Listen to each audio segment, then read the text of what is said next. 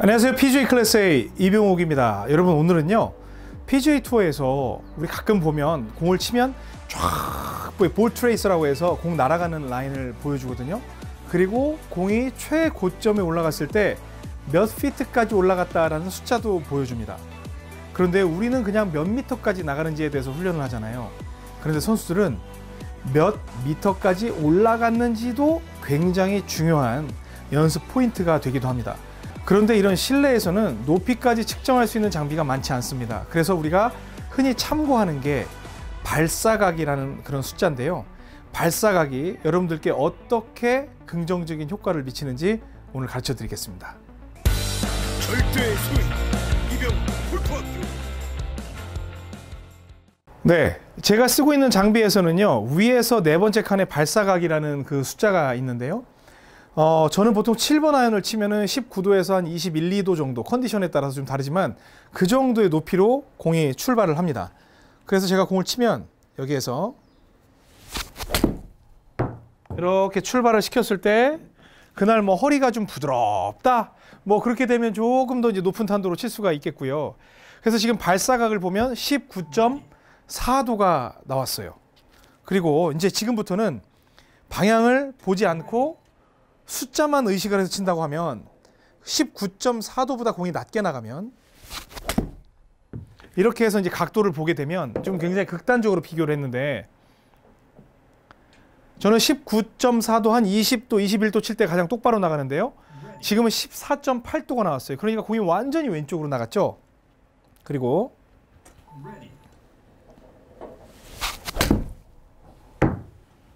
이렇게 해서 약간 몸을 뒤로 젖히는 형태로 해서 샷을 했어요. 그랬더니 22도라는 숫자가 나왔습니다.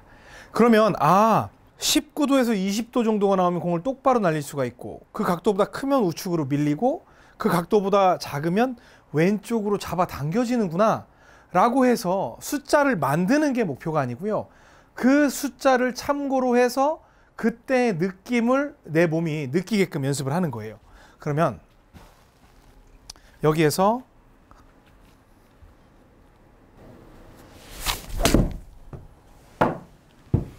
이렇게 해서 공을 치면 거의 뭐 탄도가 평범하게 제가 보이죠.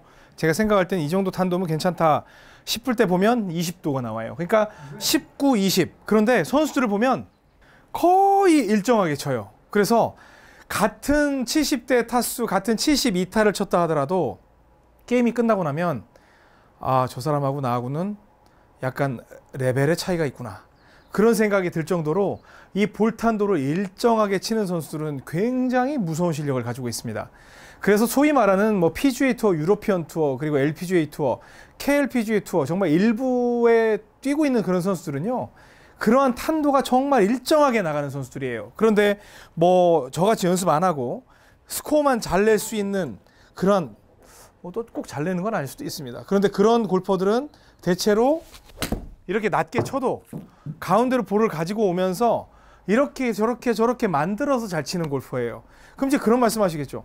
아, 이병호 프로가 골프는 끝날 때 딱 한 칸만 보면 된다면서 뭘 그걸 신경을 써? 이렇게 말씀을 하실 수 있지만 쉬운 코스에서는 같은 스코어를 칠 수가 있는데 정말 어려운 코스에 가잖아요.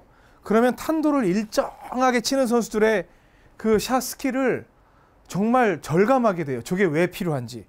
만약에 정말 그린이 딱딱한 상황에는 이런 선수들은요. 보통 19도로 치는 선수였다면 이걸 갖다가 스스로가 이렇게 해서 같은 패턴의 뭐 손의 로테이션이라든지 그런 걸 이용을 해서 같이 똑바로 치지만 지금은 21.6도까지 끌어올렸거든요. 이런 식으로 해서 탄도 조절을 하면서 공을 치기 시작한다는 거예요. 그런데 오늘 드리는 레슨이 굉장히 어렵게 느껴지실 거예요. 그런데 어, 실외 연습장에서는 불가능해요. 실외 연습장에서는 불가능한데 요즘같이 추울 때 뭐 이 골프존이나 연습할 수 있는 데 굉장히 많잖아요. 거기 가서 꼭 스크린만 치실 게 아니라 한번 연습 모드로 한번 해보실 필요가 있다는 거예요.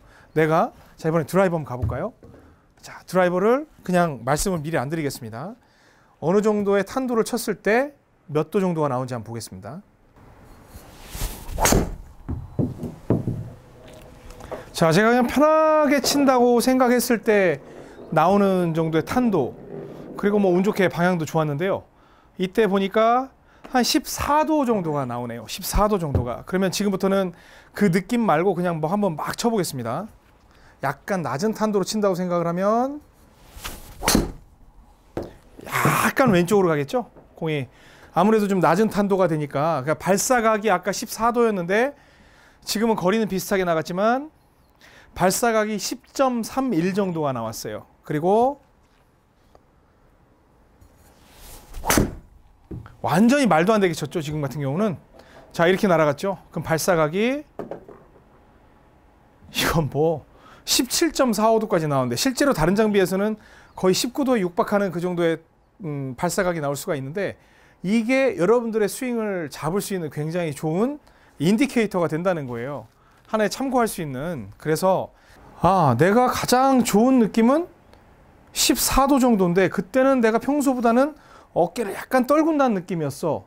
아, 그럼 내가 평소에 너무 이렇게 덮어치고 있었구나라는 생각을 하면서 스스로가 스윙을 교정을 하는 거예요. 약간 아래에서 위로 치는 형태로 이렇게 치죠.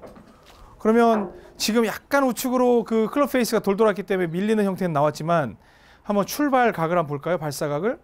그랬더니 13. 한 3, 4도 정도가 나와요. 그러니까 아, 이 정도 탄도가 나오게 치려면 내가 몸의 느낌을 이렇게 만들어 가야 되는구나.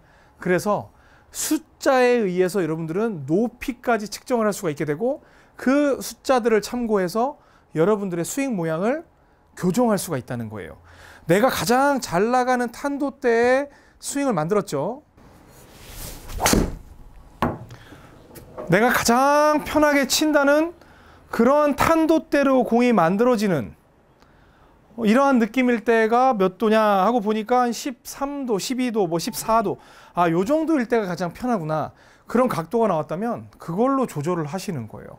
그러니까 보통 일반 골퍼들은 한 2, 3도 정도의 갭을 두면서 그 안에 집어넣으면 되는데 그것보다 낮으면 공을 왼쪽으로 감기고 그것보다 높으면 우측으로 밀리고 왼쪽으로 당겨지면 약간 몸이 이런 식으로 덮여 들어가는 거고 그것보다 높으면 뒤집어지는 거고 이걸 스스로 알 수 있다는 거예요. 그러니까 연습을 할 때 막연하게 공이 왼쪽으로 가고 오른쪽으로 간다고 해서 막 이렇게 비비고 저렇게 비비고 해가지고 맞춰 치는 것보다는 정확한 데이터를 가지고 그 숫자를 나한테 대입을 시키면서 아 이럴 때 이렇게 느낌이 오는구나.